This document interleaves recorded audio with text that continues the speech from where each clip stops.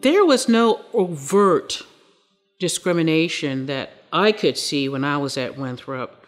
However, um, there was a chill in the atmosphere. We were not necessarily intimidated after we were there. We went about doing what we were supposed to do studying, getting decent, good grades for the most part. Very little socialization with the other girls.